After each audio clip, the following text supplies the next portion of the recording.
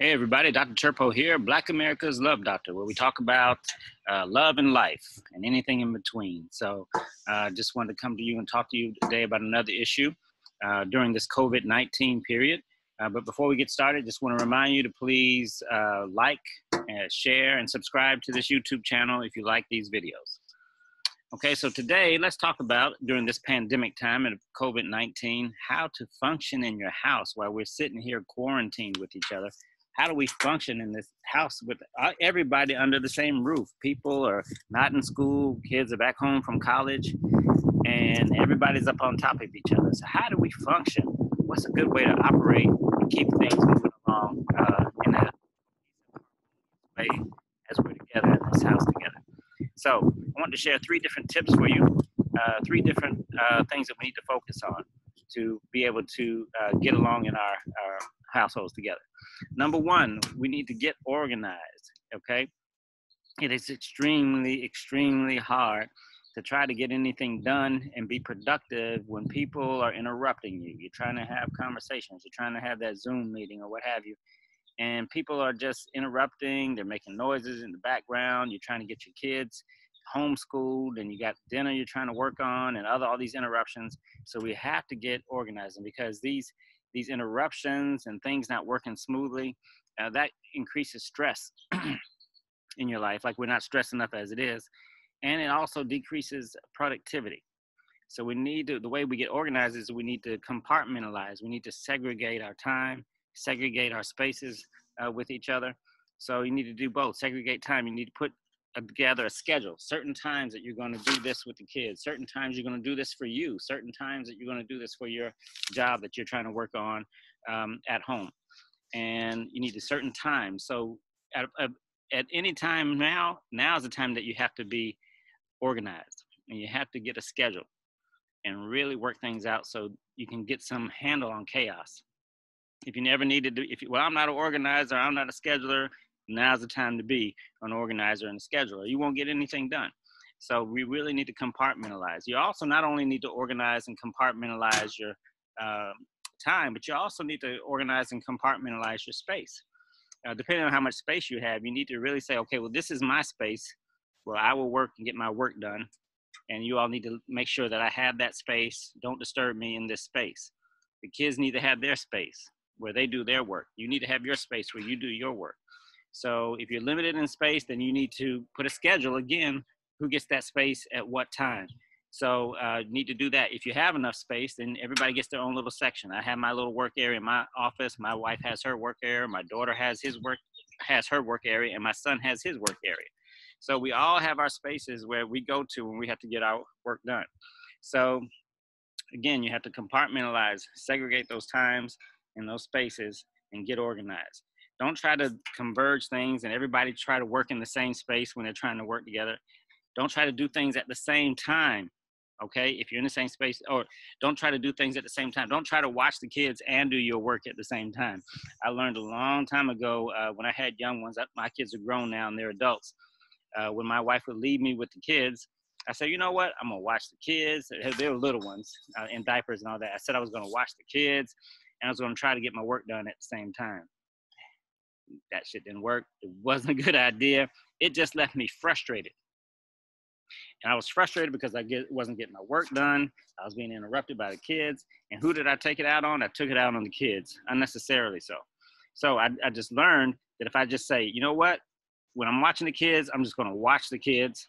I'm not going to try to get my work done eh, also in addition to watching the kids.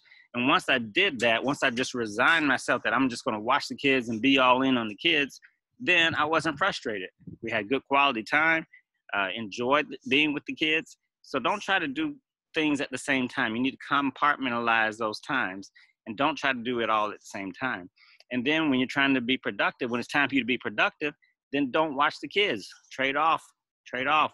Say, hey, can you watch the kids while I do my work? I'll watch the kids when you do your work. Kind of, it's a tag team effort. So you really need to get organized. You know, if you're not an organizer, scheduler, you need to become an organizer and a scheduler, especially during these times. Also, the number two thing we can do is take advantage of this is to connect with your family now. Physical distancing is painful for people. Human beings are social animals. fortunately, if you have family, uh, the bright side, even though they may get on your nerves and irritate you, the bright side is that you have like a built-in social system, social network. So uh, take the time, take adopt the old-fashioned family time. Eat your meals together when, because a lot of people are cooking at home now. Don't let people just go off and sit in their rooms or in front of the TV. Actually, sit down at the dinner table and have a meal together, at least one meal together. Okay, on, on a day. Now, when uh, when we weren't in the COVID 19 and the kids were home, we tried to have at least one meal a week where it was family time. And anytime that anybody, when it, anytime we had a meal somebody was home, you had to be at the dinner table. You couldn't take your plate away to another room in front of the TV or your bedroom. Sit down and spend that quality time. We had a rule our household no phones at the table, television can't be on, okay, no laptops.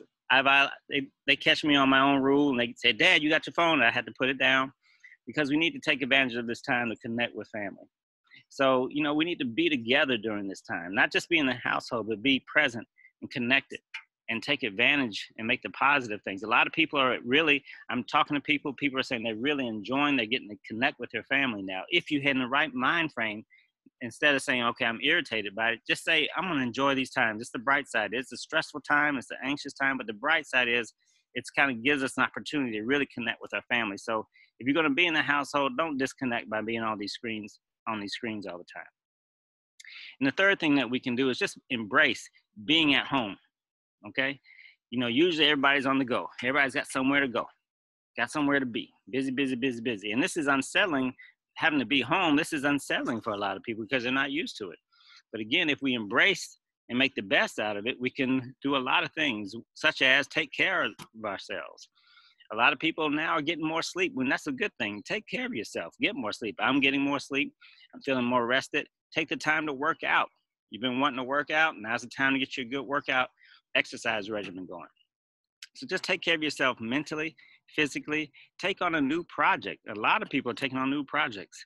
Um, it is legend has it that Shakespeare wrote a couple of his plays actually during a quarantine.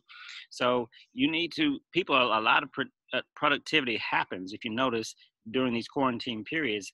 That project that you always wanted to do, that cleaning out the closet or the project at home or other creative projects, that YouTube channel, that book you wanted to write or anything that you wanted to do, you've been saying now you have the time, no excuses. Go ahead and start taking advantage of that and take on a, on a project. So keep in mind during this time, folks, the big picture.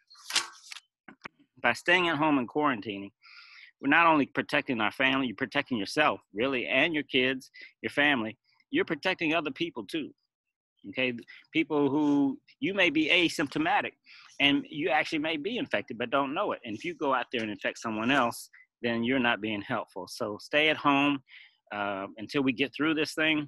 It's gonna uh, be a while and just really i would say that you need to stay at home pay attention to science do not pay attention to your government leaders who ignore science you don't trust a leader that you can't that is ignorant and don't trust a leader that is not paying attention to science be that a, a leader on the national level such as donald trump and a leader in my state governor kemp brian kemp who they're ignoring science and they're more worried about money than they are people's health. So I would not trust leaders like that. I don't trust leaders like that. And I'm going to recommend that you don't trust leaders like that either. Think for yourself, follow the science, and do what's best for you and the community. Okay? So stay safe and take care of each other. Harmonious wishes.